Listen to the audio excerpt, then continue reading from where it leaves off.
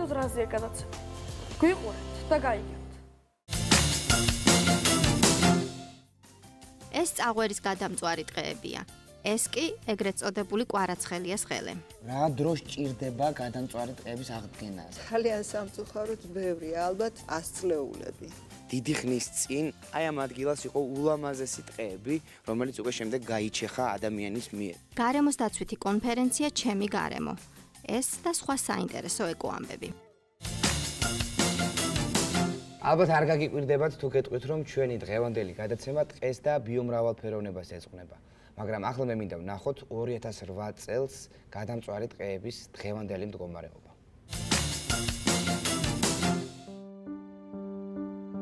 საქართველოში ჯერ კიდევ შემორჩენილია თითქმის ხელუხლებელი ტყის კორომები. ტყე მოიცავს როგორც ცოცხალ, ისე არაცოცხალ ბუნებას და მისი დაცვით აქ მობინადრე ყველა ცხოველსა და მცენარეს ვიცავთ.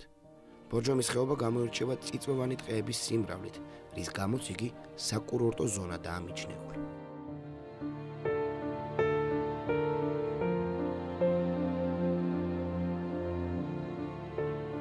2008 წლის ომის დროს წაღვერის ტყის საკმაოდ დიდი ნაწილი გადაიწვა. აი თქვენ კადრში ხედავთ გადამწვარ ხეებს, რაც რა თქმა უნდა ძალიან ცუდია, მაგრამ ამჟამად მიმდინარეობს ტყის რეაბილიტაცია და მე ვიმედოვნებ, რომ რამოდენიმე ათეულ წელიწადში ჩვენ კვლავ ვიხილავთ ულამაზეს ტყეს.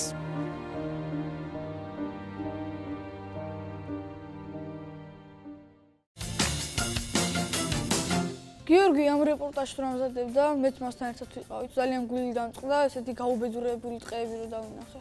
მაგრამ რო გავიგე, რომ ახალი ტყის გაშენება დაიწყეს, ძალიან გამიხარდა. ჩვენ ნახეთ გადამწვარი ტყეები და გავიგეთ ისიც, რომ ტყის აღდგენა მიმდინარეობს, მაგრამ ჩემთვის საინტერესოა ბავშვებო, თუ როგორ მიმდინარეობს იქ ბიოაღდგენითი პროცესი. ამიტომ მე სტუმრად მოვიწვიე ტაღვერის ეკოკლუბის წევრი ნუცა თედიაშვილი. და ნუცა მოგვიყვება კონკრეტული კვლევის შესახებ, რომელიც ჩატარდა წაღორის ეკოკლუბის მიერ. ჩვენი კვლევის მიზანი იყო შეგვეფასებინა დაბა წაღორის მიმდებარე დამწვარი ტყის ბიოაღდგენითი პროცესები. კვლევა ვაწარმოეთ დამწვარი და ჯანსაღი ტყის უბნებში. თითოეულ უბანში გამოვიკვლიეთ ნიადაგის საფარველი და ასევე ავიღეთ ნიადაგის სინჯები. ასევე გამოვარჩიეთ ფეხსახსრიანები. კოლემბოლები, ტკიპები, მრავალფეხები და სხვა მიკროორგანიზმები, რომლებიც უშუალოდ არიან ნიადაგში და ნიადაგ წარმომქმნელ პროცესებს უწყობენ ხელს. ეს იმას ნიშნავს, რომ ნიადაგის ბიოაღდგენითი პროცესები დაწყებულია. საბოლოოდ შეიძლება დავასკვნათ, რომ 2008 წლის შემდეგ დამწვარი ტყის ბიოაღდგენითი პროცესები კანონზომიერად მიმდინარეობს. ძალიან მიხარია, რომ ესეთი ჩართულები ხართ ბავშვებო ამ კვლევას საკმაოდ კარგი შედეგი უჩვენებია.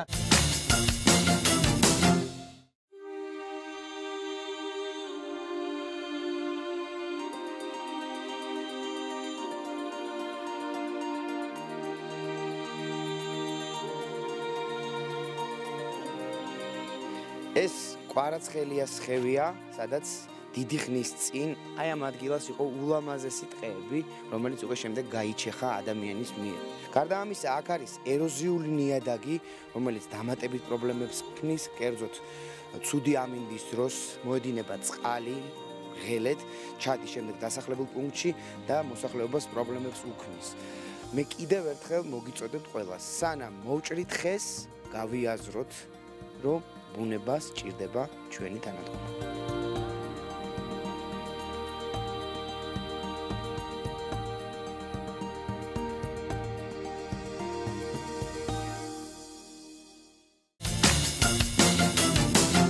არაცხელი ეს ხევზე ხوار იტყვით რომელიმე რამის. ჩვენ წაღვერც ეკოკლუბელებმა გადავწყვეტეთ ამ ფერდობის განაშენიანება, რაშიც დაგვეხმარა გაეროს განვითარების პროგრამა.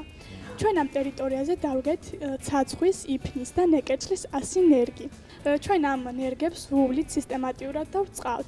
ასევე ვაწარმოებთ ფენოლოგიურ ჟურნალს, რომლის საშუალებითაც აღრიცხავთ მათი ზრდის პროცესებს. ჩვენი გამოთვლებით 100-დან დაახლოებით 70 ნერგმა გაიხარა. ეს ყველაფერი ძალიან კარგია, მაგრამ მე მინდა ეხლა კიდევ ერთ სამწუხარო ფაქტს შევეხო, ბავშვებო, რომელიც უკავშირდება ქართული ხორბლის ენდემურ სახეობებს და მინდა ვთქვა, რომ სამწუხაროდ ხალხს დაავიწყდა ქართული ხორბლის სახეობები და მათ თითქმის აღარ თესავენ.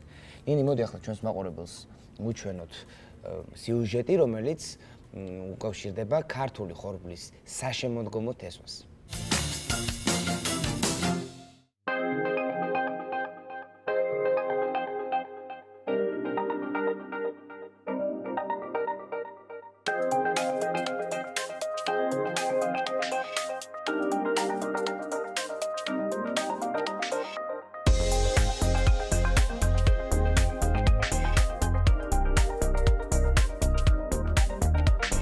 ბატონო ირაკლი, ეხლა მიმდინარეობს საშემოდგომო ხორბლის თესვა და მაინტერესებს რა ჯიშებს თესავენ ბავშვები და რით გამოირჩევიან ეს ჯიშები სხვა ჯიშებისგან.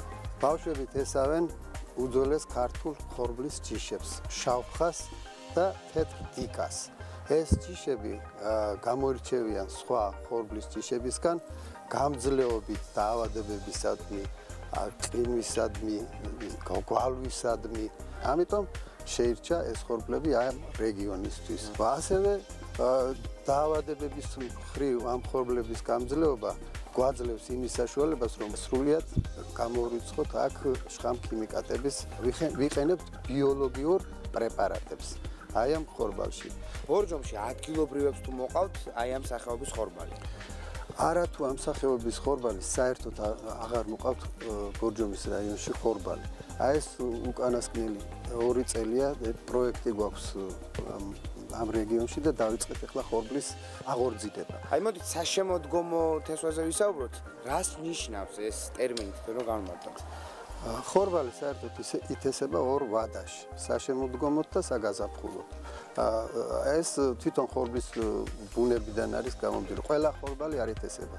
აი ეს ქართული ხორბლის ჯიშები, რომლებიც აქ გვაქვს წარმოდგენილი, რომელსაც აქ თესავ, შეიძლება დაითესოს როგორც შემოდგომით, ისე გაზაფხულზე. ძნელია აი ხორბლის მოვლა? ხორბლის ხორბლის თესვა მოყვანა არის ძალიან ადვილი საქმე, მხოლოდ ამას უნდა ცოდნა და რომელსაც აი ეს ბავშვები აპირებენ, რომ კარგად დაეუფლონ.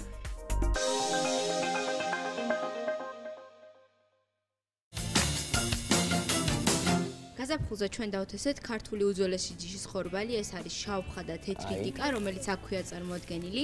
ეს არის საგაზაფხულო ხორბლის მოსავალი. ისინი აი ხედავთ რომ ფერებითაც განსხვავდებიან ერთმანეთისგან. ეს არის შავხა, ის არის თეთრი დიკა. და ივლისში ავიღეთ მე მგონი საკმაოდ კარგი მოსავალი. წელს ისევ დავთესეთ შემოდგომაზე, რომელსაც ისევ ივლისში ავიღებთ, რადგან აა ხორბალი როგორც მე მგონი იცით, ითესება ორჯერ, გაზაფხულზეც და შემოდგომაზე, მაგრამ ორივეს ვიღებთ ივლისში. თელი გადაცემა მაინტერესებს ეს ხის მორი რა არის? ამ ხის ვინმე მოიტანა? ეს ხის მორი მე მოვიტანე. აი, როგორც მოიტანე ამ ხსენი ხა რა არის აქ? ამ ხის მორის საშუალებით იგებენ მის წლოვანებას. ამ ხის მორზე გამოსახულია წლიული რგოლები, რამდენი რგოლიც არის ხე იმდენი წლის არის. აღმოჩნდა რომ ეს ხე არის 40 წლის. 40 ეს ესენი 40-ია? კი, ეს რგოლები არის 40. და კიდე რამე ხო შეიძლება ამითი გავიგოთ? გარდა ამისა, წრიული რგოლების საშუალებით შეიძლება ჰორიზონტის მხარეების დავადგინოთ. რგოლებს შორის დაშორება რაც უფრო მცირეა, ჩრდილოეთ მხარეა და რაც უფრო შორსაა დაშორება სამხრეთ. ბავშვი, მოდით ახლა ნახოთ ეკოამბები და საინტერესო საუბარი შემდეგ განვაგრძობთ. დიდი სიამოვნებით. 3 დეკემბერს თბილისის სახელმწიფო უნივერსიტეტში გამართა სკოლის მოსწავლეთა კონფერენცია ჩემი გარემო. კონფერენციას დაესწრნენ გაეროს განვითარების პროგრამის ხელმძღვანელი საქართველოსი ნილ სკოტი, გარემოსა და ბუნებრივი რესურსების დაცვის მინისტრი ელგუჯა ხოპრიშვილი, განათლებისა და მეცნიერების მინისტრის მოადგილე ლია გიგაური და საქართველოს სამყარო უნივერსიტეტებისა და გარემოს დაცვითი ორგანიზაციების წარმომადგენლები. კონფერენციაზე ბორჯომის, დაბისა და წაღვერის ეკოკლუბებმა წარადგინეს კვლევები, რომლებიც ეხება ისეთ წვავე გარემოს დაცვით საკითხებს, როგორიცაა ტყეები, წყალი, ენერგოეფექტურობა და ნარჩენების მართვა. საქართველოსი გაეროს განვითარების პროგრამის ხელმძღვანელის ნილ სკოტის განცხადებით, გარემოს დაცვითი გადაწყვეტილებების მიღებისთვის საჭიროა ახალი კრეატიული იდეები. მნიშვნელოვანია, რომ ახალგაზრდები გვთავაზობენ პრობლემის გადაწყვეტის საინტერესო და პრაქტიკულ გზებს, რომლებიც დაეხმარება გარემოს, როგორც გლობალურად, ისე საქართველოში. ბავშვებს აქვთ საშუალება შეიკრიბონ ერთად, წარმოადგინონ თავიანთი იდეები და გაუზიარონ ერთმანეთს მოსაზრებები. ჩვენ ნამდვილად გვჭირდება ახალი იდეები. გარემოსა და ბუნებრივი რესურსების დაცვის მინისტრის ელგუჯა ხოკრიშვილის განცხადებით, მსგავსი კონფერენციების ჩატარება ძალიან მნიშვნელოვანია, რადგან ეს ხელს უწყობს გარემოს დაცვითი ცნობიერების ამაღლებას. განსაკუთრებით სასიხარულო რო ახალგაზრდები არიან ჩართულები, რომლებიც ფაქტიურად ამ პრობლემების დამუშავებაში იღებენ მონაწილეობას და აცნობიერებენ მნიშვნელობას გარემოს დაცვითი საკითხების და ჩვენ სამინისტროსთვისაც ზოგიერთი საკითხი და პრობლემატიკა შეიძლება გამოყენებული იყოს თუნდაც იგივე პოლიტიკის განსაზღვრაში. ბატონო, როგორ ფიქრობთ, რამდენად მნიშვნელოვანია მსგავსი ტიპის კონფერენციები ბავშვებისთვის? მე ვფიქრობ ძალზე მნიშვნელოვანი არის. ჯერ კიდევ 96 წლიდან საქართველოს კანონმდებლობაში დევს რომ გარემოს დაცვითი განათლება უნდა იყოს უწყვეტი. ანუ მოიცავდეს განათლების ყველა საფეხურს დაწყებითი სკოლამდელი სკოლის და უმაღლესი განათლებას. ეს არის ერთ-ერთი კარგი პროექტი რაც კი მინახავს საქართველოში. ახალგაზრდული კონფერენცია ჩემი გარემო უკვე მეორე წელია ტარდება გაეროს განვითარების პროგრამის ინიციატივით და ფინეთის მთავრობის ფინანსური ხელშეწყობით. ასევე გარემოსა და ბუნებრივი რესურსების დაცვის სამინისტროსთან და საქართველოს განათლებისა და მეცნიერების სამინისტროსთან თანამშრომლობით. გაეროს განვითარების პროგრამის პროექტის მდგრადი განვითარება და გარემოს მიმართ პასუხისმგებლობა ფარგლებში ბორჯომ ხარაგაულის ეროვნული პარკის ტერიტორიაზე მოეწყო ბიომრავალფეროვნების ბილიკი. სადაც წარმოდგენილი იყო საინტერესო და სახალისო ამოცანები რეგიონის ბიომრავალფეროვნების შესახებ. ამ შემეცნებით გასართო პროგრამაში მონაწილეობდა 35 ეკოკლუბელი ბორჯომის მუნიციპალიტეტის 6 სკოლიდან. სალაშქრო ბილიქზე გაფანტული დავალებების მეშვეობით მოსწავლეებმა ისწავლეს ცალკეული ორგანიზმების, ცენარეებისა და ცხოველების გამორჩევა, მათი სახეობების დადგენა და გარეული ცხოველების კვალის გარჩევა. არასამთავრობო ორგანიზაცია ეკოვიჟენი და გარემოს დაცვითი ინფორმაციისა და განათლების ცენტრი აცხადებს საერთაშორისო სასკოლო პროექტების კონკურსს პედაგოგებისა და მოსწავლეებისთვის პროექტ სფეარის ფარგლებში. კონკურსის თემაა ჩვენი ენერგეტიკული გადაწყვეტილებები გარემოს და კლიმატის შენარჩუნებისთვის.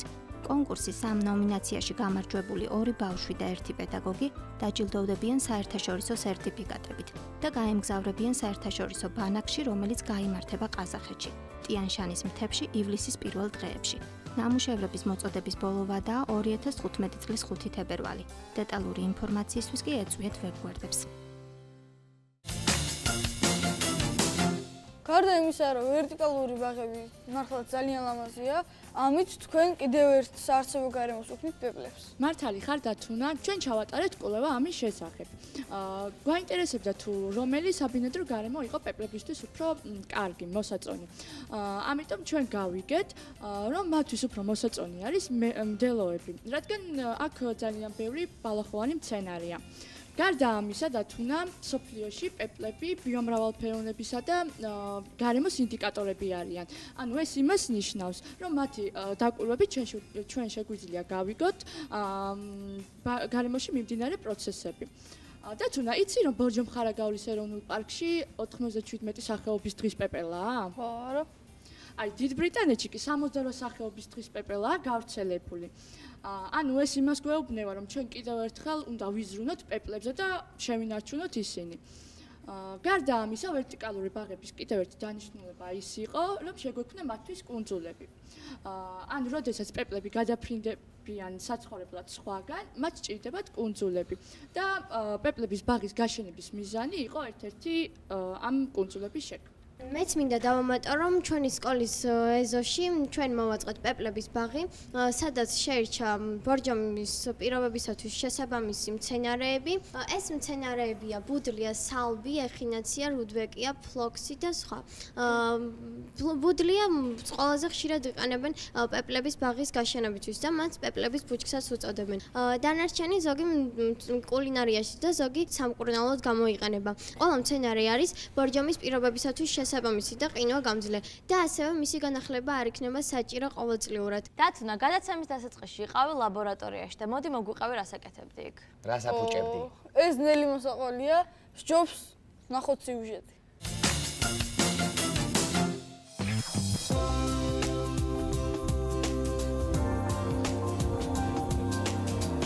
მე ძალიან მაინტერესებს როგორ ხდება ნიადაგის მიკროორგანიზმების კვლევა. მე ვიწვი აგრარულ უნივერსიტეტს, სადაც დამეხმარებიან ამ კვლევის ჩატარებაში.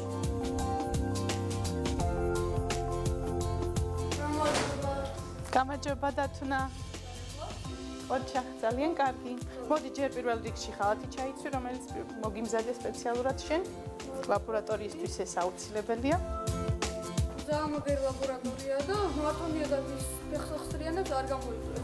კიდე რას ეს არის ენტომოლოგიის ინსტიტუტი და ჩვენ ვსწავლობ სხვადასხვა ჯგუფის მწერებს. იქნება ეს ციფრიფანაფთიანები, რომლებიდანაც თქვენთვის უფრო ცნობილი არის ფუტკრები, მაგალითად ჭიანჭველები და ასე შემდეგ, ქექსლფთიანები, რასაც ჩვენ ვეძახით მეცნიერები პეპლებს, არიან ხოჭოები, რასაც ქვია მეცნიერულად ხეშეშფთიანები, სწორფთიანები, ანუ იგივე კალიები და ასე შემდეგ. აი ესენი არის ციფრიფანაფთიანები, ნახე, სხვადასხვა სახეობის ფუტკრები, არის აქ ველური, ასევე შინაური ფუტკარი, აი ეს ციფრიფანაფთიანები. აი ესენი არიან ბუზები, რომლებსაც მეცნიერულად ქვია ორფრთიანები. მაგრამ ეს ბუზები კვებებიან მცენარეების ნექტარით. ძალიან საინტერესო და საყვარელი ცხოველები არიან მე მგონი. ეს ხოჭოები, ესენი არიან ბაზები. ესენიც დამომტვერიანებლები არიან. და როგორ ხდება მწერების შეგროვება? ეცი თავდაპირველად ჩვენ ასეთი სახით მოგვაქვს ეს წერები. აა ასეთ კონტეინერით ეს გროვდება მალაის ხაფანგში, ანუ კარავივით არის გაშლილი ხაფანგი, რომელშიც შეფრინდებიან წერები და ცვირდებიან მერე სპეციალურ სპირტიცავსე კონტეინერში.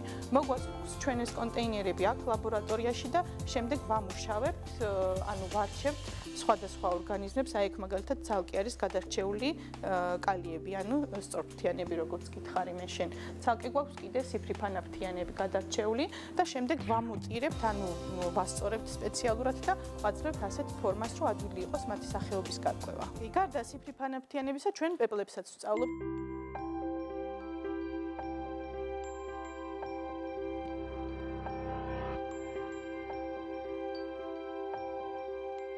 ესენი არიან სულ წერები, მაგრამ წერების გარდა ჩვენ კიდევ ვსწავლობთ ნიადაგის ფეხსახსრიანებს, რომლებშიც შედიან სხვადასხვა ჯგუფის ორგანიზმები, ესენი არიან ტკიპები, კოლიმბოლები, მრავალფეხები და ამ კვლევას გაჩვენებ ახლა მე თუ როგორ ვახდენთ ნიადაგიდან ამ ორგანიზმების გამოყოფას. კარგი.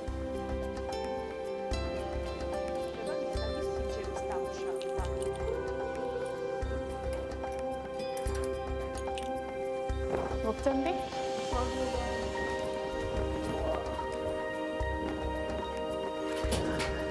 ეს არის ტექნიკური ოთახი, სადაც საჭიროა რომ იყოს სიბნელე, მაგრამ ჯერჯერობით ავანთოთ, ხო?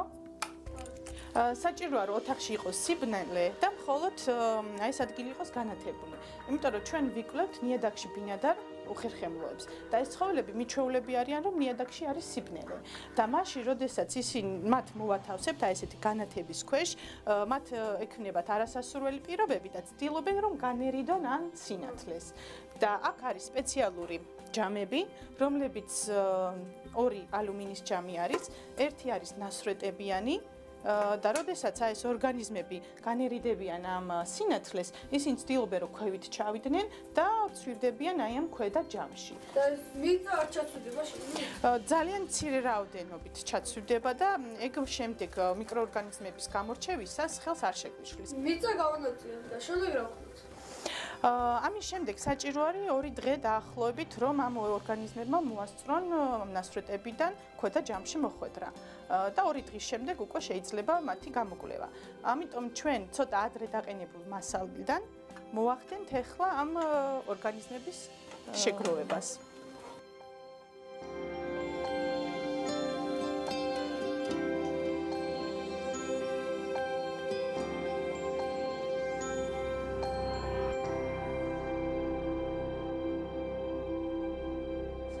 ეხლა წავიდეთ და ვნახოთ რა ორგანიზმები არიან მაგ სინჩი. აქ ჩავაქროთ ისევ სინათლე, რომ იმ ორგანიზმებმაც მოახერხონ ჩამოცვენა.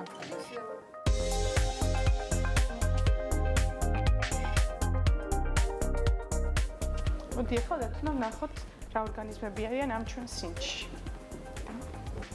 ეს არის ბინოკულარი.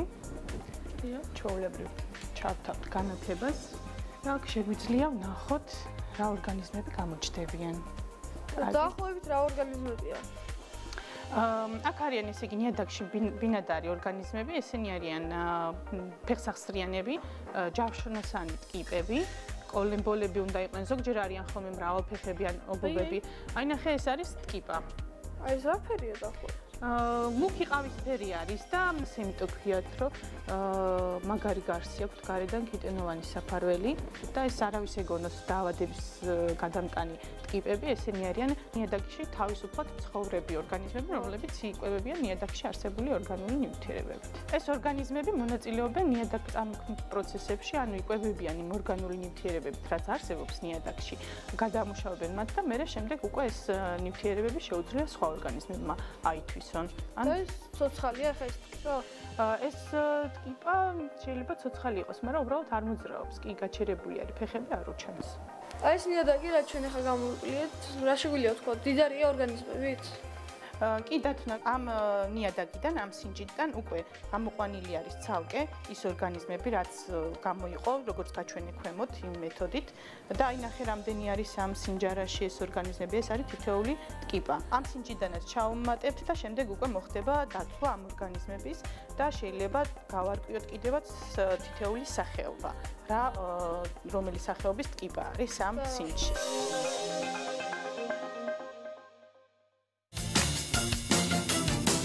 ვაგზელებ ჩვენს დღევანდელ გადაცემას სტუმრებთან ერთად და დღევანდელი გადაცემის სტუმრები გახლავთ გაეროს განვითარების პროგრამის პროექტის ხელმძღვანელი ქალბატონი ლალი მესხი და ეროვნული სატყეო სააგენტოს წარმომადგენელი ქალბატონი მარინა სუჯაშვილი. მოგესალმებით ქალბატონებო. მადლობა ჩვენთან მოგზანებისთვის.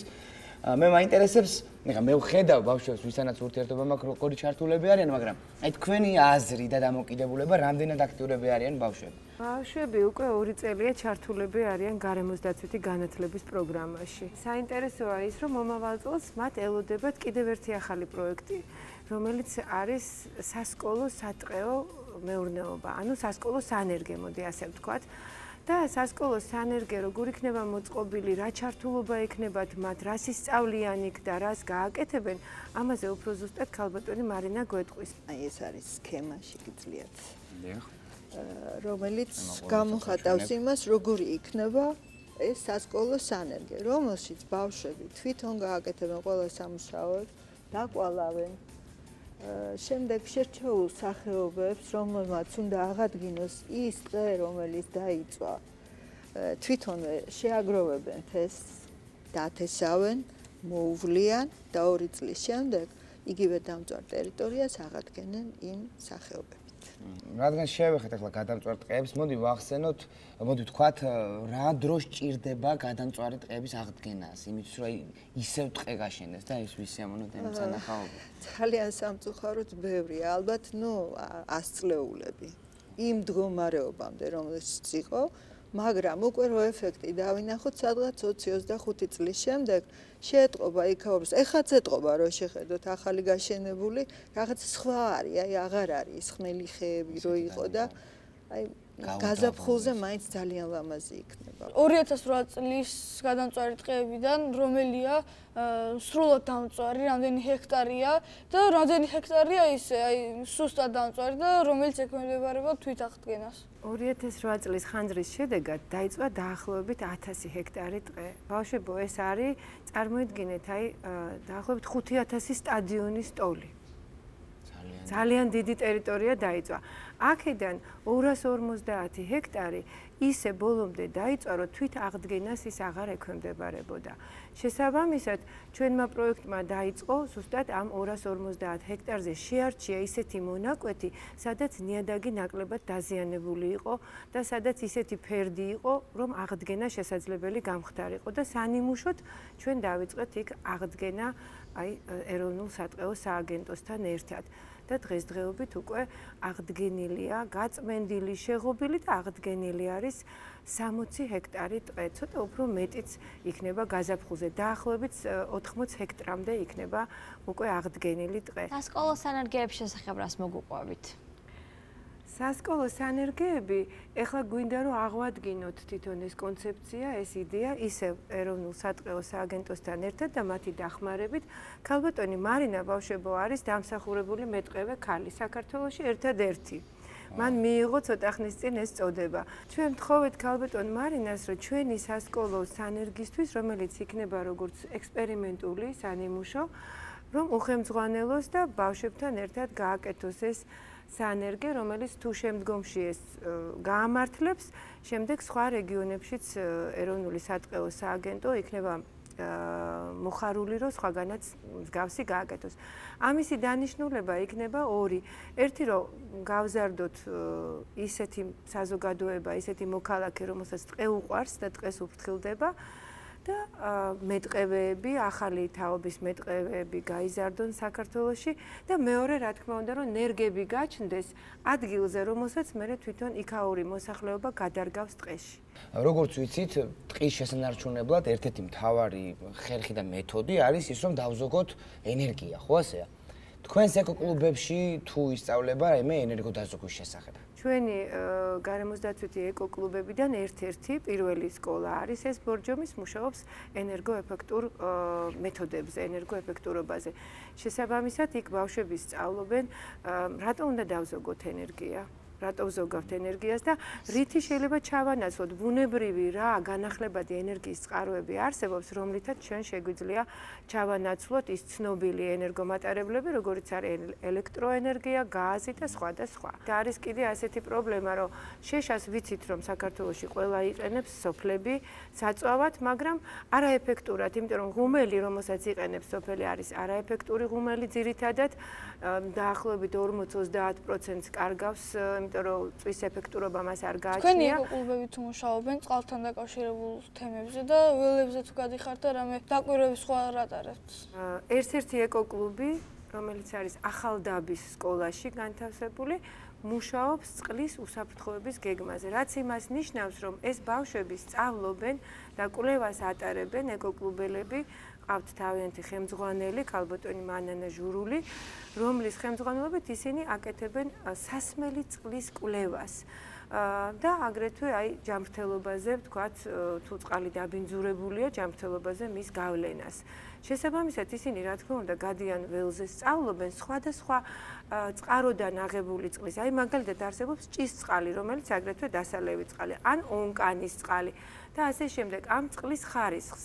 და თუ წყალი დაბინძურებულია, იმასაც სწავლობენ, საიდან შეიძლება ეს იყოს დაბინძურებული. აი მაგალითად სათაო ნაგებობაზე გადიან და სწავლობენ, იქ არის თუ არა ჰიგიენის ნორმები დაცული.